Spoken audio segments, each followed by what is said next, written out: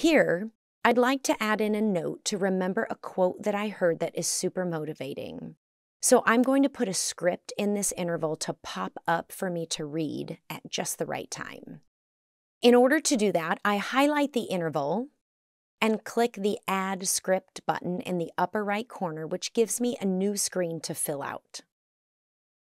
I want to title it Go For It, and I want to tell my riders this if you believe it, your body will achieve it.